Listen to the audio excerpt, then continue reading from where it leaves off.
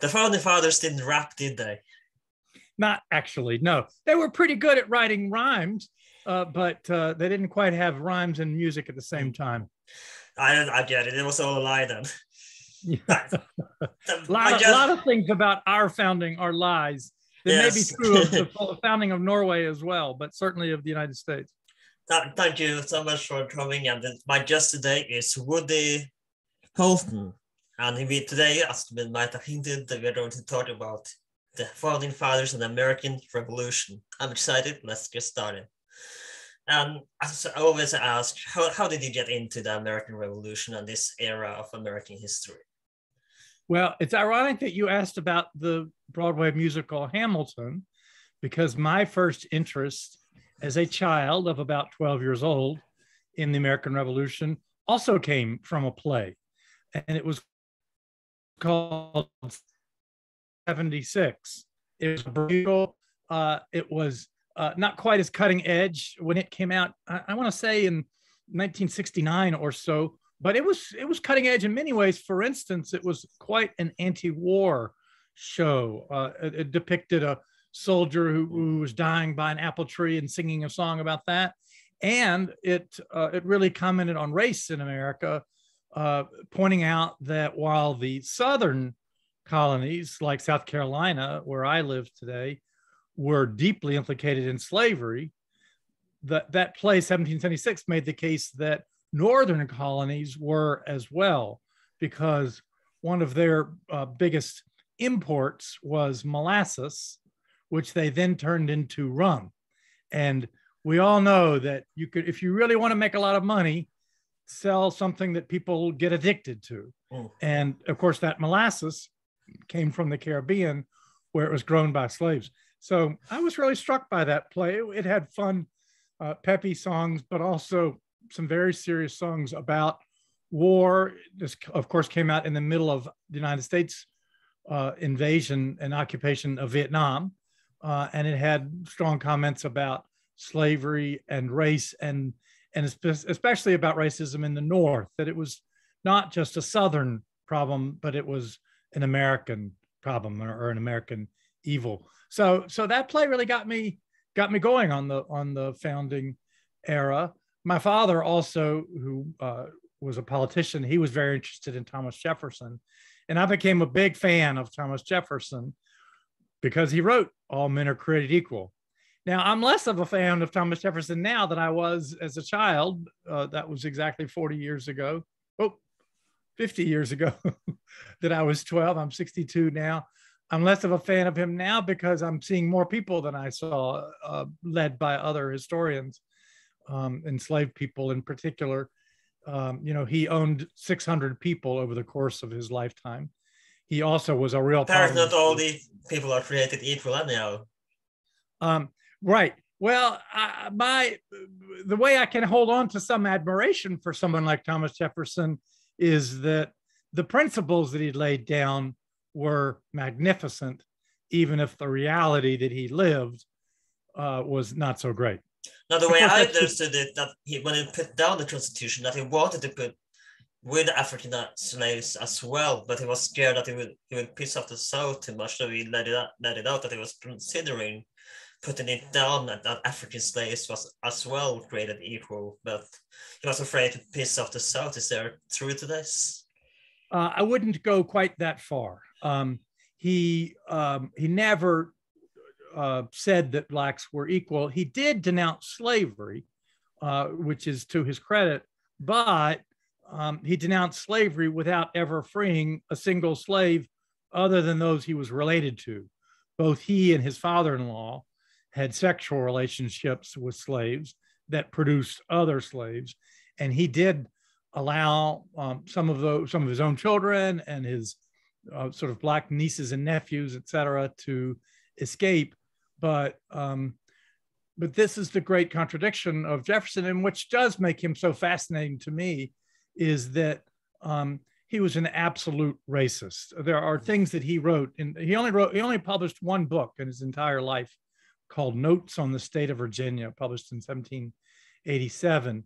And there are things he wrote in that book that are hideously racist, worse, as bad as anything Hitler said about Jews and, and gays and so forth, is what uh, Jefferson said about Black people. For instance, um, the old horrible myth that led to so many lynchings in America that uh, Black men were uh, obsessed with having sex uh, physically, uh, you know, raping white women. It's not true. Of course, rape happens all over the world and it's terrible, but there's not a particular, you know, black obsession with black male obsession with white men. And Jefferson spread that horrible, uh, very dangerous lie. Um, but again, he he also had uh, four or five children by one of his slaves. Um, now, she was um, only one eighth African, uh, Sally Hemings, um, you know, having been the, uh, having had lots of whites in her in her ancestry, but you just have to say that Jefferson is the same thing that you and I are, which was full of contradictions. So let's go back to the very beginning and start right before the revolution, because that's what what started the revolution in the first place. Because I want to begin with the British taxation. What what was the cause for the British to tax America so much harder in this era? Um, the short answer is that the American Revolutionary War, in my opinion, would not have happened if it hadn't been for another war that ended in 1763. Um, and I don't know if you know that war. I would love to know what they mm. call it in, in Norway. In um, the United States, they call it the French and Indian War because, of course, the British colonists were in an alliance with the British government against the French and the people they called Indians, we now call indigenous people. In uh, in Canada, still today, they refer to it as the Seven Years' War, or in French, Canada, la guerre de sept ans. But it didn't go for seven years, it went for nine years. George Washington started it in 1754, and then it finally ended with a Native American um, revolt in, that went until 1764. Anyway, this was this is widely accepted among historians as the first world war, the first war to have theaters um, in Africa and India and uh, it's all over at sea, all over the European continent, um, and all over North America. So, so we think of it as the actual World War One, the First World War. Um, and the reason that it was so important was that it nearly doubled the debt of the British government. Now, it's not true to say that the British government was deep in debt, so it decided to tax the colonists to collect money from them to help pay off its debt. But what the British government wanted to do, uh, to speak fiscally, was to stop bleeding. That is, to stop spending so much money on America. And so officials in the British government assessed what were they spending money on in America, and they saw that one of the biggest things they were paying for was for the colonists to fight indigenous people, Native Americans, or they used to call them Indians. Um, and um, those uh, Indian wars were very expensive because you had to transport men and materials, and some women actually who fought in, in those wars from the coast way up into the mountains where the Indians were. Uh, and so the British government really didn't want to fight any more wars against Native Americans. And so the British government did two things. Number one, it drew a line along the crest of the Appalachian Mountains. If you've ever visited the United States, you know that we have the coast, but then once you've gone about 200 miles in, there is a, uh, a mountain chain called the Appalachian Mountains um, that runs basically parallel to our Atlantic coast. And uh, the British government said to its own settlers, we don't want you to cross that line. You may not go uh, beyond that line further into Native American territory. Now, this was not a humanitarian gesture on the part of the British government. They didn't actually care about the Indians as people, but they knew that every time colonists stole more land from the Indians, that provoked the Indians to attack them. And then the British government had to come and suppress the Native American rebellion. So, to stifle that process from the beginning, the British government said, okay, we are going to make our colonists stop taking land from Indians. And to enforce that, they actually um, left 10,000 soldiers in America at the end of that war in 1763. Uh, you could basically call them, to use language from the United Nations today, you could call them peacekeeping troops because these troops were going to hold the line, preventing Indians from attacking the colonists, but also preventing the colonists from attacking the Indians, provoking another war uh, with them. Um, and the British government, quite understandably, I think, said, okay, we are going to leave these 10,000 troops in America. Who should pay for them? Well, the colonists should pay for them.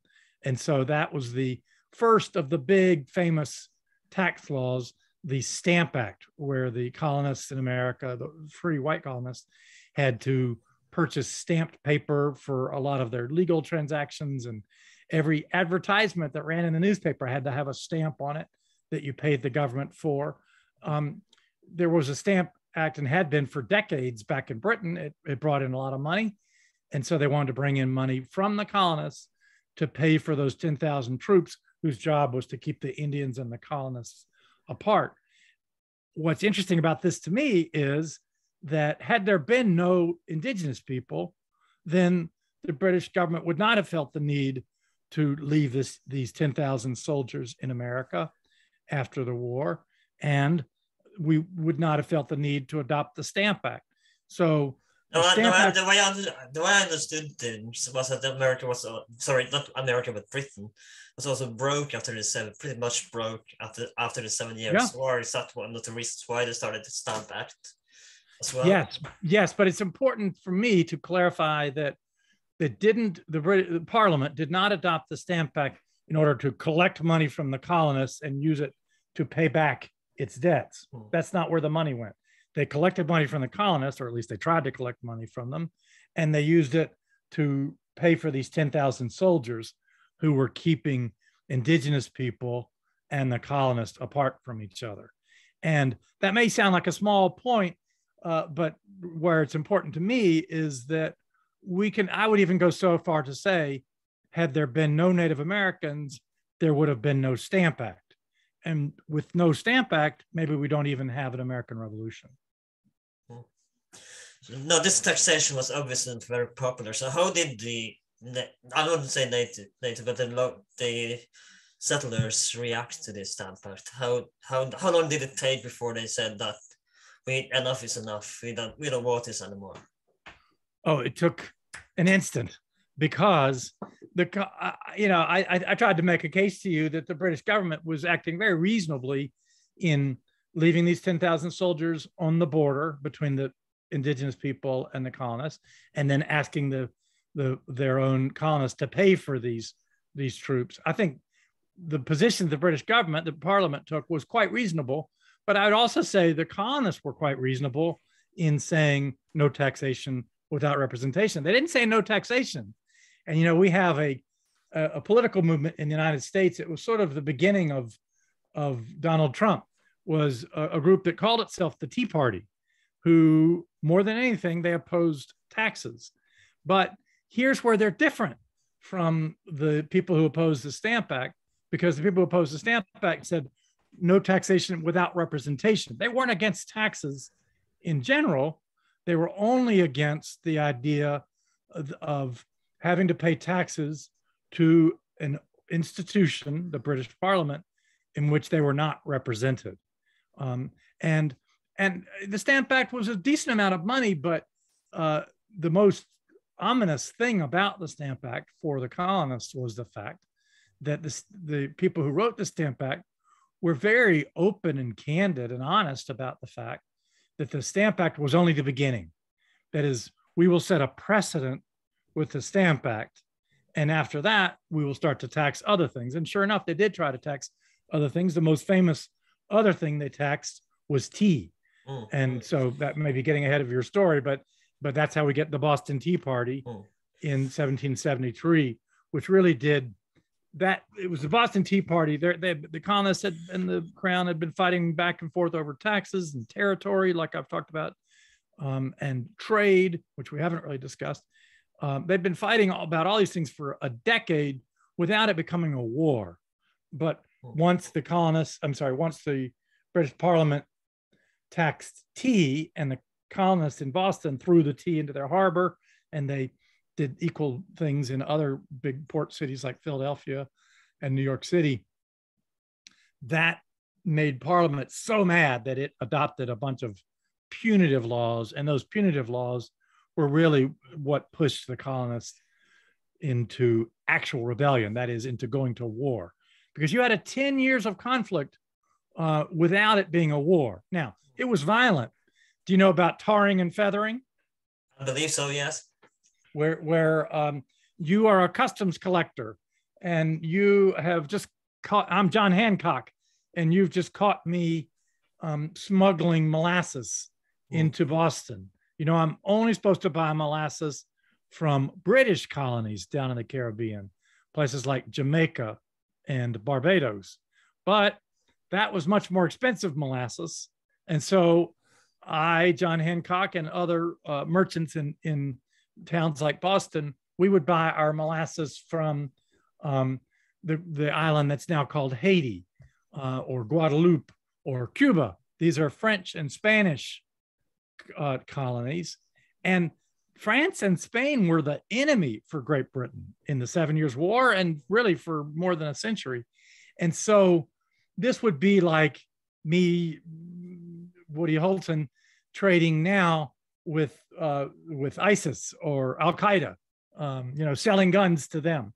That's it's treason if you are trading with the enemy, um, or like a Ukrainian trade, you know, uh, um, selling selling weapons to the Russians. It's treason, and of course the British were mad about that, but the colonists were mad not uh, were, were mad that the British were trying to stop them from smuggling. So again, I was saying you were a customs collector, an agent uh, on the wharfs of Boston and you caught me smuggling molasses into Boston, you would seize my ship um, and sell it, uh, and the money would go to the British government.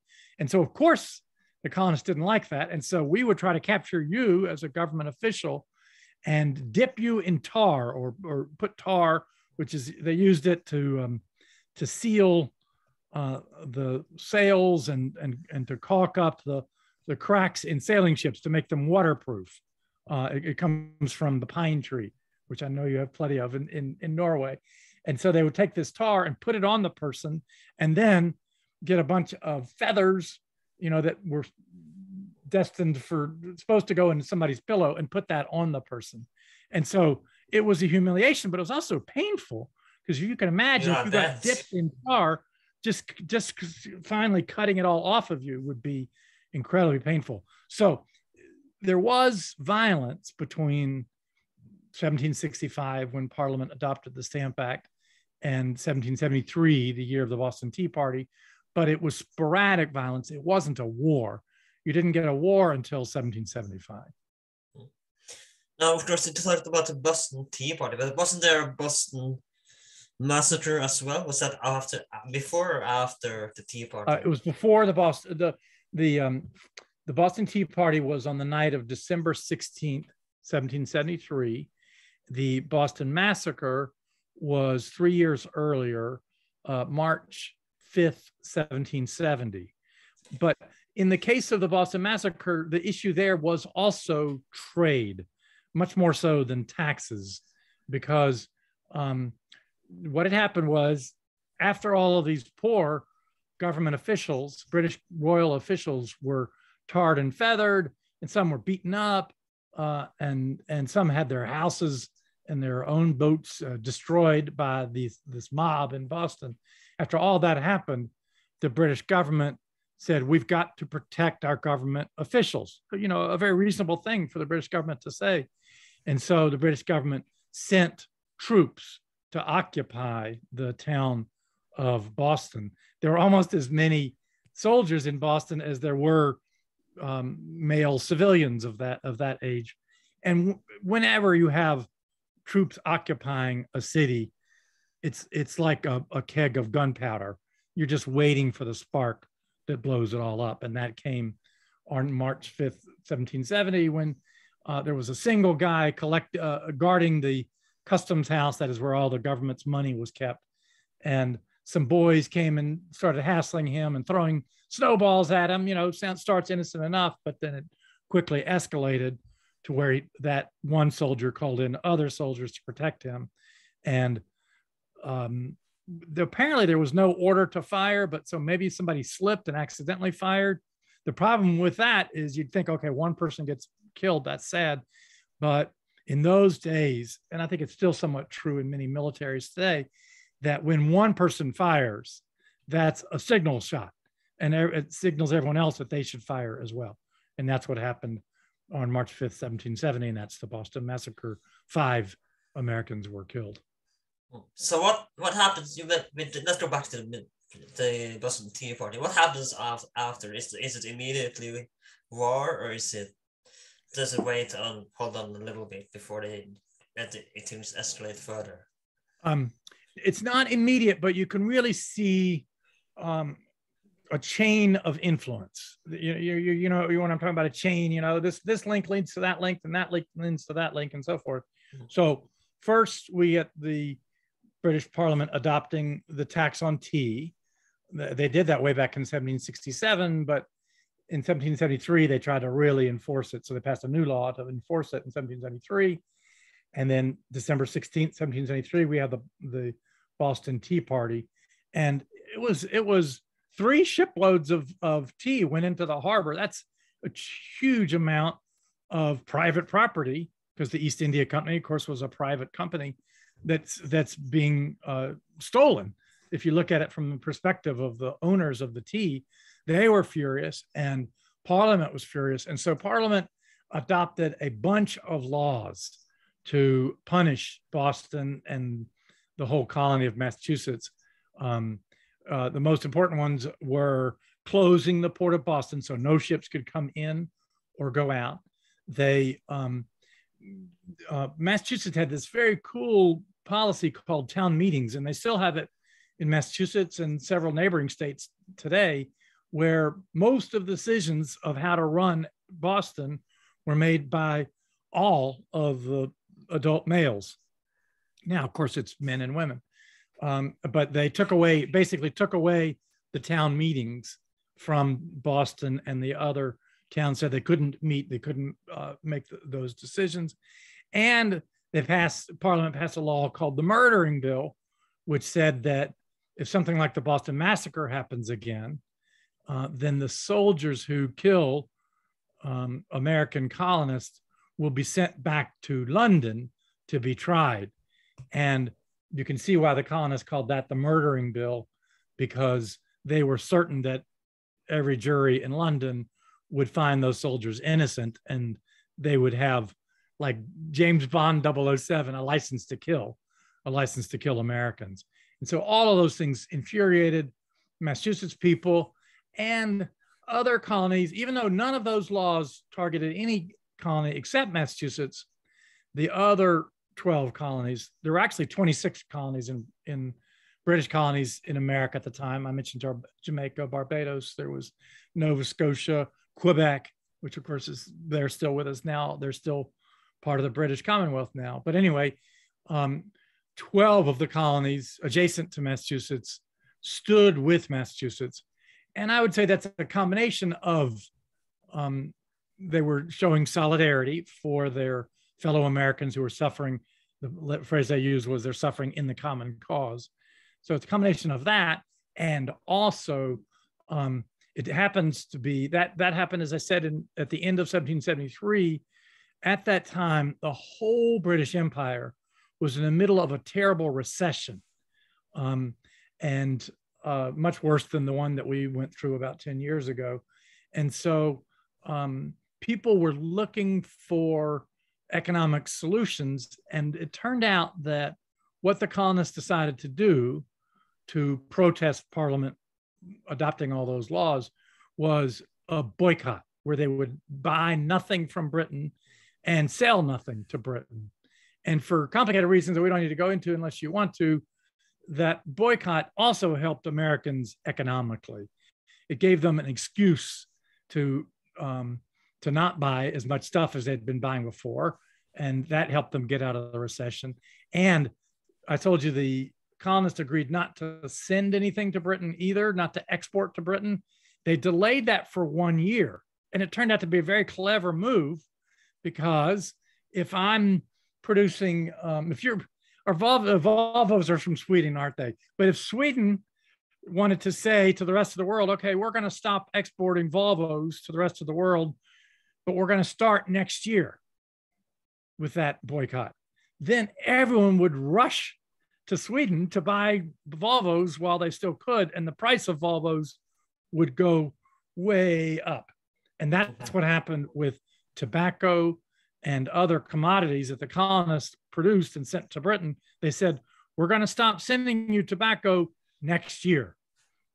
The, the intervening year, they sold their tobacco at an extraordinarily high price, and it really helped them get out of the recession.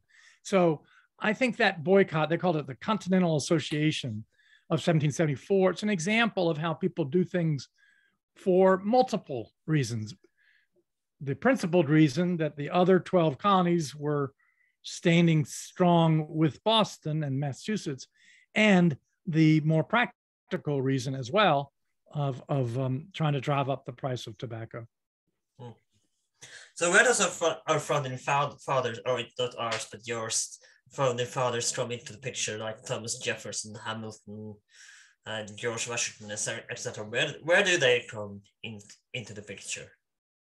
Um, well, this is one of the great questions of the American Revolution or our Civil War or or any country's history is how much did the individuals matter?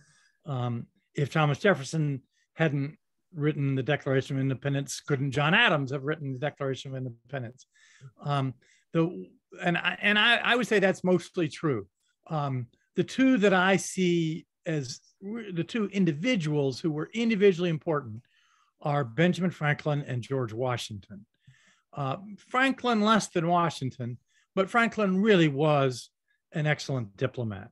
And it's hard to imagine the American colonists winning the war against Britain.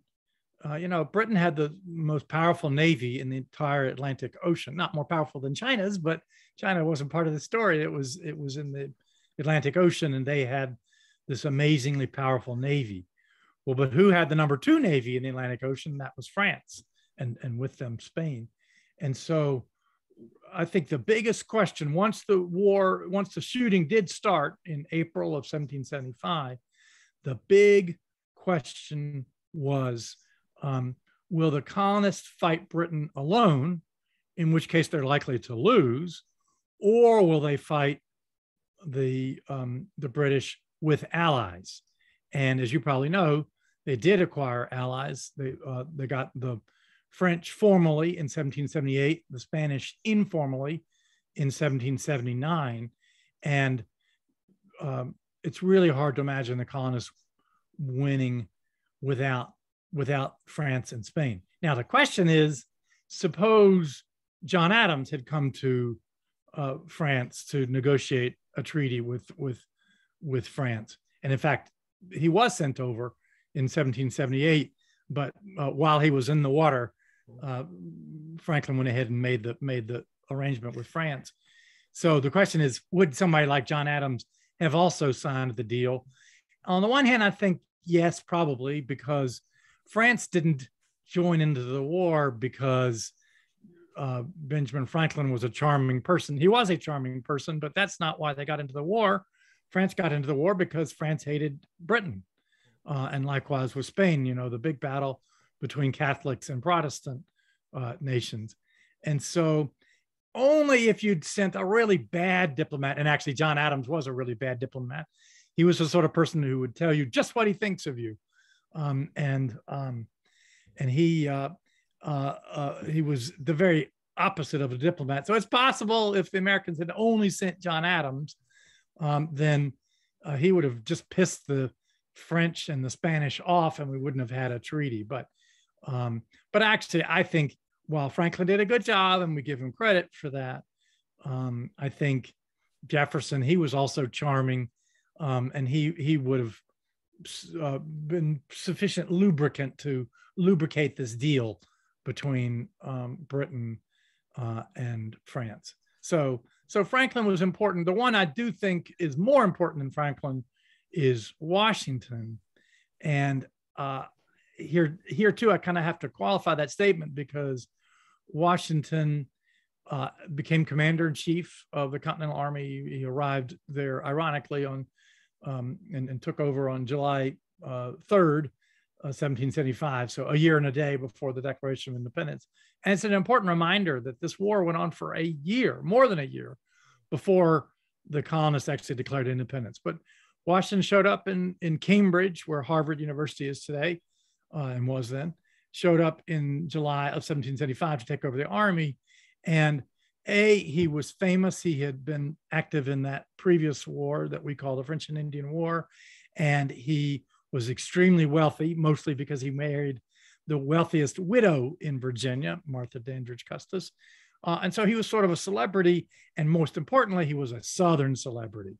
And by having a Southerner as the head of the army, that persuaded Americans that this, this was not just Massachusetts battling Britain, but all 13 of those colonies. Now, I say there's complexity here because Washington, in my opinion, start off as the wrong general for this war because he was a very aggressive, assertive guy. Um, you know, you've heard maybe the myth that he was able to throw a coin all the way across the Potomac River. That's not true, but he he did. Uh, uh there are there's a more verified story about how he was able to bend an iron bar, or things like that he was a he was a he was a tough guy. He would be uh, um, playing um, sort of a real life David Crockett then. He, uh, sort of like Dave, Davy Crockett. Yeah, yeah, yeah, exactly. So anyway, he was a tough guy, but with that physical toughness came a mental toughness that says, I never want to be on defense. I always want to attack. Hmm. And what other Americans tried to persuade Washington of was that's not the strategy that will win this war. The British have more soldiers, they're better trained, they have a, a much better supply of ammunition and, and um, gunpowder and all of that. The only way we can win this war, Washington's generals kept telling him, was to build up um, walls and dig trenches and make the British come to us. Because in the 18th century, and this is true, you know, you know about the the trench warfare of World War One or the uh, the First World War uh, in in uh, 1914 to 1918, um, and and it's still somewhat true now as the Russians are discovering in Ukraine that um, defense has a natural advantage. Now, sometimes offense can do something tricky, like Washington sne- sneaked across the Delaware River on Christmas night, 1776 to attack the town of Trenton, New Jersey, and captured a whole uh, German army. The Germans uh, had rented their soldiers to the British. And you've heard of that, probably Washington crossing the Delaware. So I'm not saying that the defensive side always wins, but the defensive side usually won.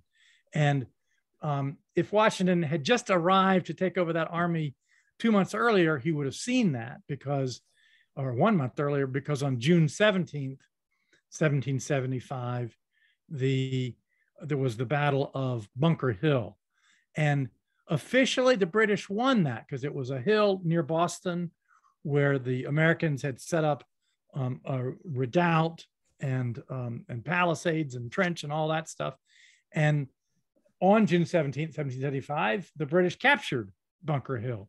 And so by the 18th century definition, if you end up with the hill at the end of the day, you won. But in achieving that victory, the British suffered 50% casualties, which was just unheard of at that time. And so how, how quickly um, could the British resupply with soldiers from in in that time? That's the both in from from the UK or from anywhere generally? How it was not an infinite.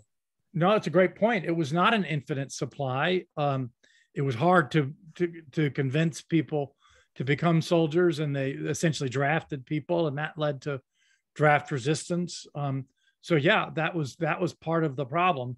Um, but the, the, even the bigger issue is that while um, Britain then as now was not exactly a democracy, the British public did have some influence on Parliament. And, you know, when you received a letter saying your son had been killed in America, that would certainly have the effect of making you less supportive of Britain's war uh, in America. Another uh, thing, and, and not to mention the expense. Go ahead. Another thing I want to ask about is how, how did the French and Spain, Spain support the Americans? It was it with just money? It sold troops or weapons supply? How how did that? How did the French and Spanish Spanish support help the, well, the Americans win the war? For the first two years of the war, in fact, even before the Americans officially declared independence on July second, seventeen seventy six uh, for the first two years. Whoa, spoiler alert. Yeah, right. Um, yeah, we celebrate the press release, not the actual action. But uh, the first two years, the, the, the French provided aid somewhat similar to what the United States is supplying to Ukraine and, you, and NATO are supplying to Ukraine. Um, they supplied weapons, but they didn't send soldiers. Um, and uh, or or warships. And and in fact, they did it much more covert, covertly. You know, NATO is pretty open about, about the fact that they're sending weapons into Ukraine. So so it was, um, you know, one of the worst things the United States has done over the years is called covert aid. You know, when they send weapons to the a group called the Contras in Nicaragua, uh, or uh, or you might say the United States did a good thing when when the Soviets controlled Afghanistan. We sent covert weapons to the Taliban, which of course ended up being our enemy. Uh, anyway, covert covert uh, uh, shipments of weapons is what the French did for the first two years. But then when they um, signed a peace, uh, uh a, an alliance with Benjamin Franklin in February of 1778, after that they started sending um, armies and navies to help with the war. And that was really crucial because the British, um, as I said, had such a powerful navy. And Spain actually didn't ever sign a treaty with the United States, but it did indirectly. Spain allied with France, which allied with the United States. So Spain helped us as well um, and, and gave money and weapons. Um, and while Spain didn't send soldiers to fight the British. Well, yes, they did. They, they, you know, Spain controlled Louisiana, uh, including sort of the capital of Louisiana, New Orleans, and they in 1780. Was that French territory at the time? Uh, it would become French territory after the uh, war, but no, in 17 between 1763 um, and the outbreak of the war, and, so, and then its conclusion in 1783, now that was Spanish territory, um, and um, and operating from um, New Orleans, Sp- a Spanish army, a very diverse Spanish army, by the way, made up of Native Americans, African Americans, French speakers. As you you're right, the French had been there for a long time until 1763, uh, and so so a lot of them were French speakers. But they they attacked what's now the states of Alabama and Florida and captured them from the British.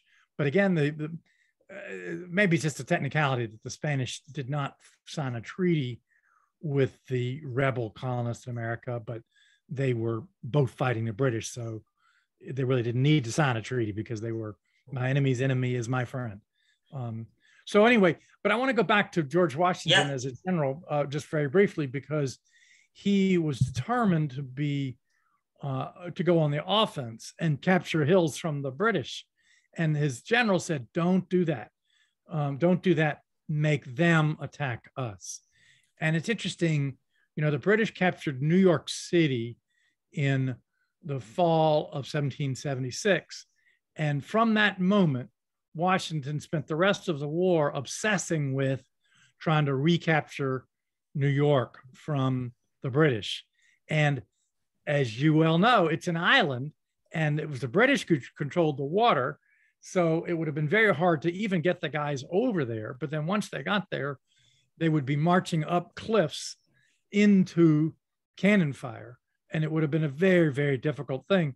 And so here's my, I think, amazing statistic that I got researching my book. And by the way, I'm going to plug my book. It's called Liberty is Sweet. Um, I don't have the copy with the cover, but there it is. Ooh. The um, um, the Washington. Here's an amazing statistic. Washington devised more than 12 different plans to capture New York from the British um, in great detail. We got everything all set up and ready to go, but then he never carried out any of those attacks because he was slowly learning the lesson from the people under him that the way for the Americans to uh, to win the war was not to go on offense, but to make the British come to them and and and and assault the Americans while the Americans were the ones hiding in trenches and hiding behind uh, dirt uh, mounds, palisades, they called them, uh, and so forth. There's a great line in John Milton's poem, um, uh, Paradise Lost. Those also serve who only stand and wait. And really, the Americans discovered first everybody except George Washington, and finally George Washington discovered that the way to win this war was to stand and wait. And while there was well, what a dramatic, makes them realize that the the offense might be not the sorry defense might be the best offense. What makes them realize? Well, what makes them realize that defense might be the best offense? Oh, absolutely, absolutely. That's, that's the best way to put it. Yeah. Well, now, how does it? It's not like they were this? never attacked. I mean, they they did they did uh, lay siege to Yorktown, and that's what finally put them over the edge. But that only worked because they had French, the French Navy helping them in all these French cannon and stuff. They couldn't have done that until the French were in the in the war. So at least until they got the French helping them, the Americans were wise to to follow that rule. The best defense is a good offense. Uh, best Let, offense let's, let's talk about the Battle of Yorktown. How significant was this, the Battle of Yorktown, for the revolution? Well, let me say on this on the one hand, on the other hand, because on the one hand, it was not the final battle of the Revolutionary War by any means. Um, people were still fighting uh, well into 1782, and there were even a few uh, deaths in 1783. And remember, part of the war is going on in the West. Native Americans allied with the British uh, against the, the colonists, and that war went on for more decades. And so so it would be a myth to say that Yorktown was the last battle of the Revolutionary War. Oh, actually, we talk about Hamilton again, because you remember John Laurens is killed near the end of the play Hamilton. Um, and that was in August of 1782 in my state, South Carolina, which was also his state, in a completely unnecessary battle that he was just doing it to get the glory. But that was long after Yorktown. So Yorktown wasn't the final battle. On the other hand, Yorktown was a significant enough loss for the British that as soon as Parliament found out about their loss at Yorktown, they uh, sent orders to their generals in America stop all offensive operations. And they also sent diplomats in the other direction, that is, over to France to start negotiating with France and with the, the American colonists, people like Benjamin Franklin over there in France so, somebody actually I haven't mentioned yet, and I, I, I almost forgot mentioning as well, is Hamilton, because he's, as you know, the main character in the musical Hamilton, and he is on the $10 bill for a reason. So, how, what was his part in, and, and for obviously we know if you listen to and see or seen Hamilton, but what, what was his role in the Revolutionary War? Oh, I hate to disappoint, but his role in the Revolutionary War was not large. Uh, he, um, in fairness, he was a young man. He had just uh, been uh, just out of, of college at what was then called King's College, now Columbia University. Uh, and he served as an aide uh, to Washington. He served as an artillery captain before that. Um, and he did get to play an important symbolic role at Yorktown. Uh, there was very little sort of hand to hand combat at Yorktown. There was mostly just both sides firing cannon at each other, but there were a couple of redoubts. That is, does, does, do they steal cannons from the British at one point? Uh, steal cannon from the Brit. Oh, that would be. You might be referring to um, um, oh, Ticonderoga, where the oh. Americans captured a fort uh, up in what's now upstate New York.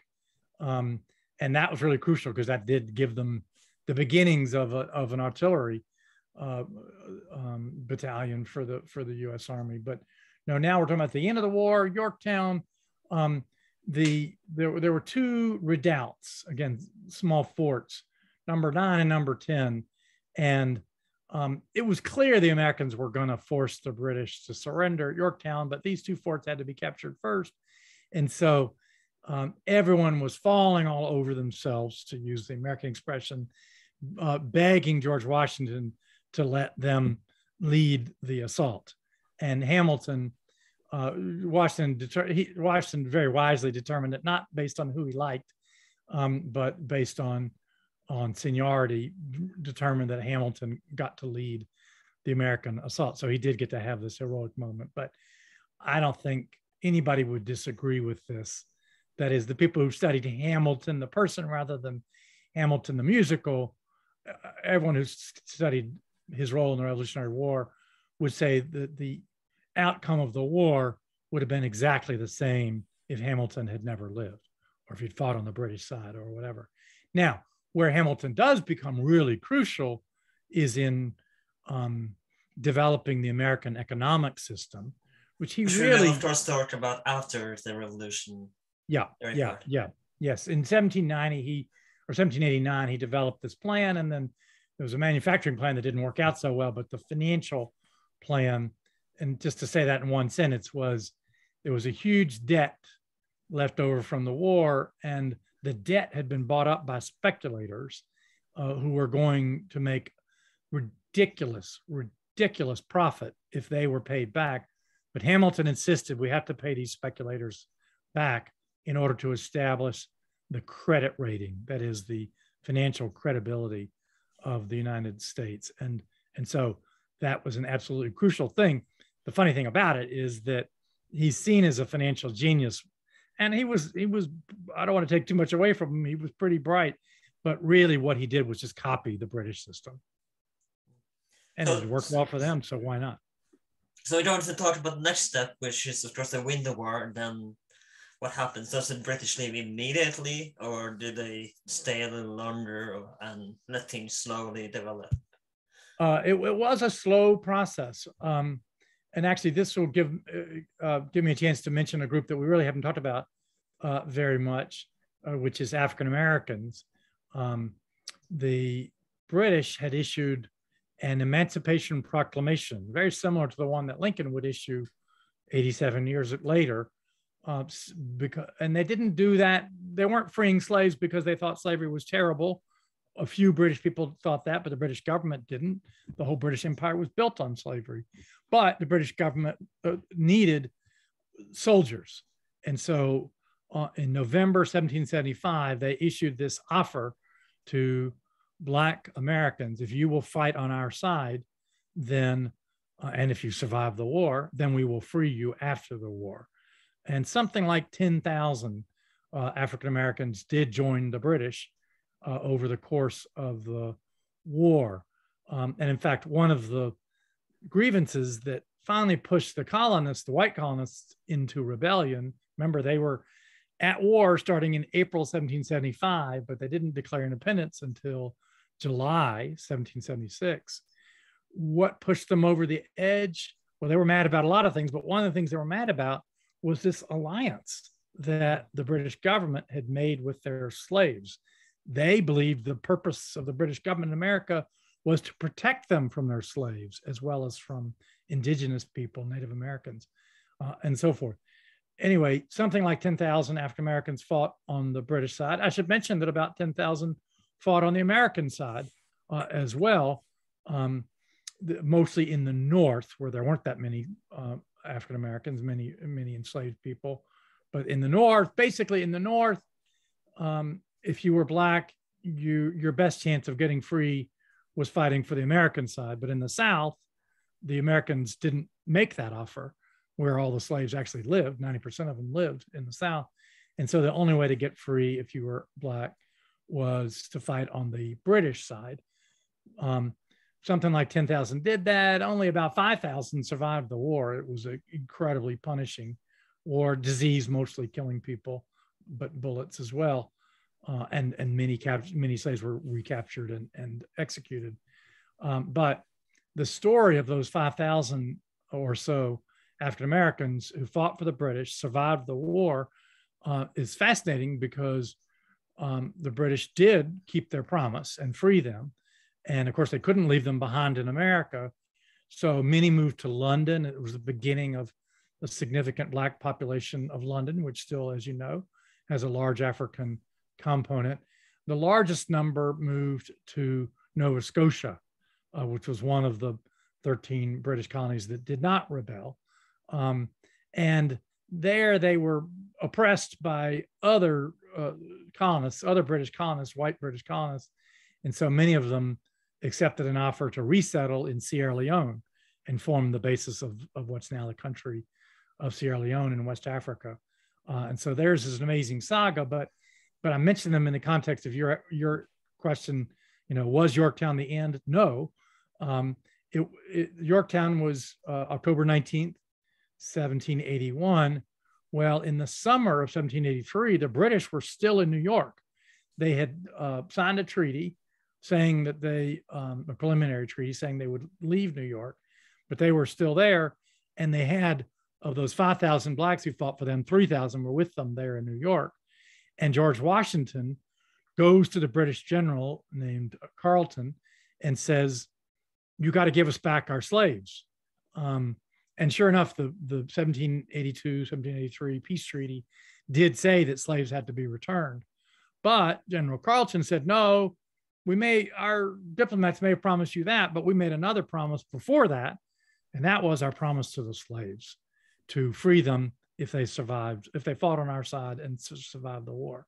And so um, you had this flotilla, uh, fleet of ships leaving New York Harbor. Um, in the summer of 1783, sailing mostly for Nova Scotia with all of these Black people who had been enslaved most of their lives, who had fought in the war for the last, for the previous seven years, and who are now headed to freedom. And, you know, as an American, we've become very patriotic as we think about immigrants sailing into New York Harbor past the Statue of Liberty and coming to America for freedom. But in 1783, you had 3,000 Americans sailing out of New York Harbor past the future site of the Statue of Liberty and headed to freedom in the British Empire. Somebody we, we mentioned talked about earlier. You, you said your first, you, should, oh, you started studying the American Revolutionary War was Thomas Jefferson, which we haven't really talked much about after and during the Revolution. But how did, but he was in France, wasn't he, at, at the time? So how when does he return to America and what makes him come back to America after the revolution? Um, he um, he went over in 1784. So the war was over, but he was chosen to replace Benjamin Franklin as the American ambassador to France. Um, and um, you had this wonderful partnership for Hmm, about four years with um, Jefferson in Paris as our representative there, and John Adams in Britain as our representative there. I kind of belittled John Adams' diplomatic skills earlier in our conversation, but one place where he really did do a good job was in Britain. And that's because, ironically, he admired the British so much, even though we'd just been at war with them for seven years. So, anyway, the two of them were over there together as um, as diplomats. And so both of them missed the convention in 1787 that wrote the United States Constitution. Um, and, and so it's a great, and people from other countries, a lot of people in America forget that the Americans did not just declare independence and write the Constitution. Uh, they declared independence in 1776 and they started writing their own state constitutions but it's not a mistake that they were called states because you know Norway is a state, Sweden, Finland, Denmark, those are states in in in the English language, and so people would go, well, you know, shouldn't we refer to the United States as the United Provinces or the United Departments or something? But no, that's the point of the U.S. is that for those fir- that first decade from 1776 to 1787, Virginia, South Carolina, where I live now, Massachusetts, Pennsylvania, New York, those were states. In, in Spanish, we'd say estado, or in French, état. They were nations, to use modern language. They were as much, they were as independent of each other as Norway is from, from uh, Sweden or, or Finland or France today. They were in an alliance, but you know it was equivalent to the European alliance or NATO and the, and the European Union and all that stuff. But they were they were separate, and then it's amazing to think that having broken away from the British Empire in 1776 and established these 13 little miniature, miniature nations, they decided, some of them decided in 1787 to merge those 13 states back together. They, they had broken out of the British Empire and now they were starting an empire of their own. Now, that's not to say the states disappeared. The states still have important roles even today.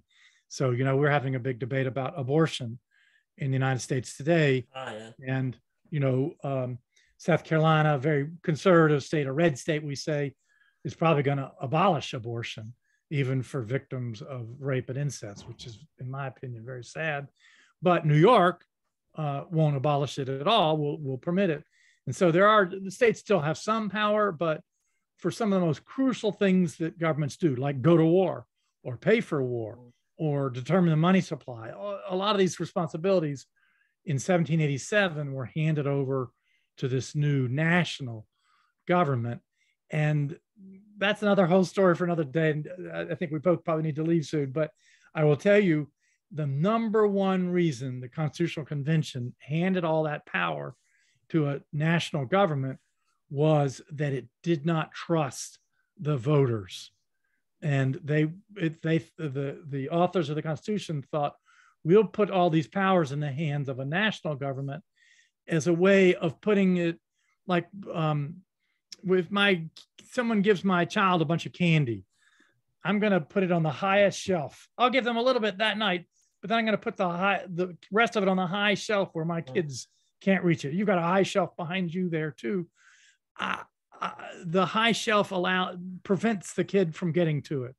And in a sense, the U.S. Constitution does the same thing to American farmers.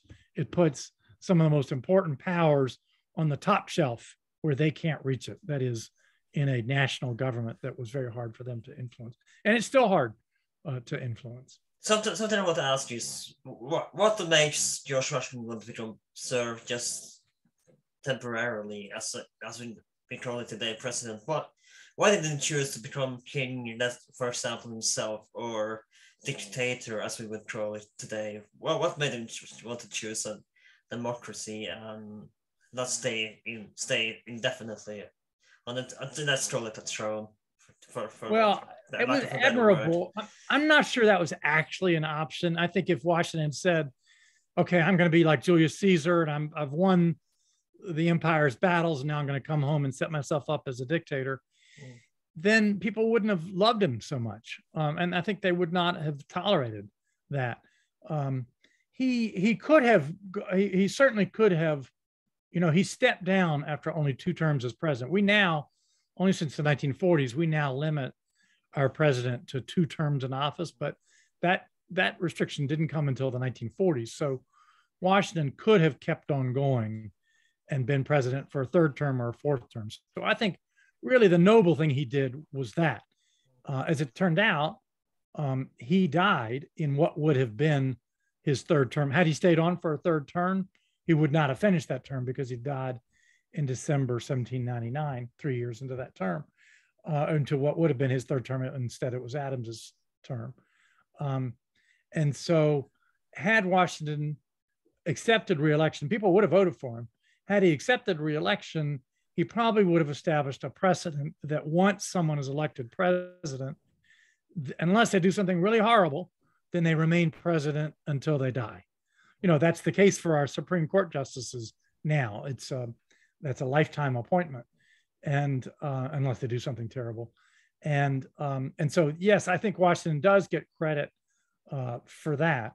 Um, but I don't think the I don't think Washington being a king was ever an option because he was very popular. He wanted to stay popular, and had he said, "Okay, I'm now going to be your king," then his popularity would have vanished uh, overnight with most people. Um, and and can I say and one thing you did uh, you did the Caesar analogy analogy, and you see see what happened to Caesar. He was popular in conquering the Gallic during the conquering the Gallic Arab tribes, and then he made himself dictator, and you see what happened. So yeah, I can see why he chose to Yes, that's true. not to become a dictator. So yeah, had can see why. Washington, what that's true. Had Washington become a Caesar, then someone else would have become Brutus for, Mm. for sure. So yeah, uh, I think we rounded up pretty well there. The American Revolution. Before we go, where can people buy your book? And do you have anything links you wish me to put in the description? And thank you so much for coming in the podcast. You, whatever you wish to promote, now is here. Now is your chance. Oh, oh, I, I, I don't have a copy of my book with the cover. It's somewhere, so I'll just hold this up again. It's called "Liberty is Sweet," uh, a phrase that um, might sound like it's something that that Patrick Henry or George Washington said, but it was actually a reference to Washington's slaves who took advantage of the of the chaos of war to escape. And the man in charge of watching them while Washington was gone said, "Well, we can't really blame them for leaving because liberty is sweet." So uh, everybody was was fighting for their liberty, but sometimes one person's battle for liberty conflicts with somebody else's. Yes. And uh, of course, I gotta ask before you go, what what did you think about the musical Hamilton? Oh, I thought it was wonderful as a musical, but I was so disappointed that Lin Manuel Miranda chose a very traditional book um, by an author named Ron Chernow. Uh, Chernow is a very good writer, but uh, he tells the same story. I've read I've read many biographies of Hamilton, and they all tell basically the same story. Mm. And there's so many exciting books out there um, that to me would have been much more exciting for that project. Oh, here, I am going to put my phone down for one second because I'll give you an example. There's a book called A Midwife's Tale. Hang on, I'll be right back. Mhm. See it behind me there. While I'm at it, Just uh, for, for five few seconds. He's looking for his book right now. Yeah, there you go. if if uh, if fate had been different, then this would have been the book that Lin Manuel Miranda found. You know, he was headed down to his home in Puerto Rico to, uh, uh, and he needed a book to read on the beach. And I just wish he'd found a book like this, The Midwife's Tale, which is about a midwife in what's now the state of Maine between 1785 and 1812. She delivered nearly a thousand babies and did not lose a single mother um, in, in- during that delivery stage, and very few of the children. In fact, the you know men were at just at that time starting to take over the job of midwifery from women, but uh, Ballard, uh, uh, Ulrich, the author of this book, produced the statistics to show that the men um, did not have nearly as good a survival rate for either mothers or babies as this midwife did. And, you know, it's not surprising that midwives are kind of coming back uh, in many parts of the world because, uh, anyway, so, so I, it was just broke my heart that Lin Manuel Miranda wrote all those amazing rhymes uh, just to tell this very traditional story. That's what we call great man history about Washington and Adams and, and especially Hamilton. And by the way, I found a copy of my own book. Yeah. There it is. Um, there's a little bit of a secret here. Do you see this fellow right here? That's actually a woman, Mhm. uh, which is one of the more interesting stories in the book. Know that you know that you credit though that he might have set a lot of young people in in uh, becoming interested in the revolutionary era and want to look more into it. I think that's Absolutely, absolutely. And who am I to complain? Because, Mhm. as I said at the very beginning, uh, I became interested as a 12 year old uh, in the American Revolution because of a Broadway musical too. So, absolutely, if, if that, if if if the play Hamilton becomes an entry point and people go on to read uh, books about Native Americans and and midwives and and African Americans escaping uh, and get away from the traditional story, um, which is important in itself, but it's not the whole story. Then sure, no, I have to agree with you. That's a good that's a good thing. Thank you so much for coming on. This has been Well That Aged Well. We are available on Spotify, Apple Podcasts, YouTube, wherever you can find podcasts. Please consider like, share, and subscribe. And also, if you got the time, please rate, give us a rating on Apple Podcast and write a little review. That would mean a lot to us. Thank you so much for coming. My name is Erlend, and I'll see you next time.